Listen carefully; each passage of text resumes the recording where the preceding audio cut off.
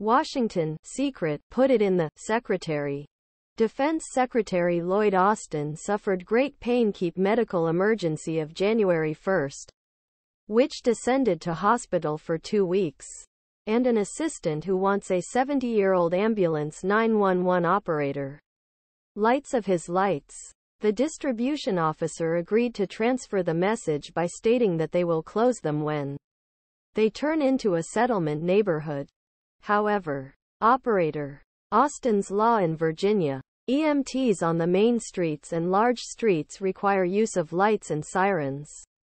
He added, according 911 call, the defense secretary asked Lloyd Austin to take him hospital. Violeta Santos Moura file photo on January 5. It turned out that secretary turned out to be aware of hospitalization of his colleagues in Pentagon and his boss in White House. After running to the Walter Reed National Military Medical Center in Bethesda, Austin, severe pain from urinary tract infection a complication from a prostatectomy he spent on December 22 silently Secretary Kathleen Hicks Jan. 2.2 without telling him or other Pentagon colleagues about the reason behind him. Austin also could not tell the White House transfer his officials to Hicks. And then he did this after informing President Biden hospitalized on the 4th of January.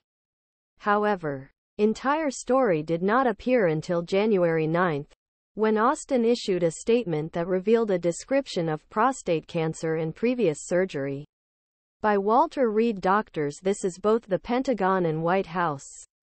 His privacy disappointed many people in Washington and called on both the Republican and Democratic MPs to call his resignation.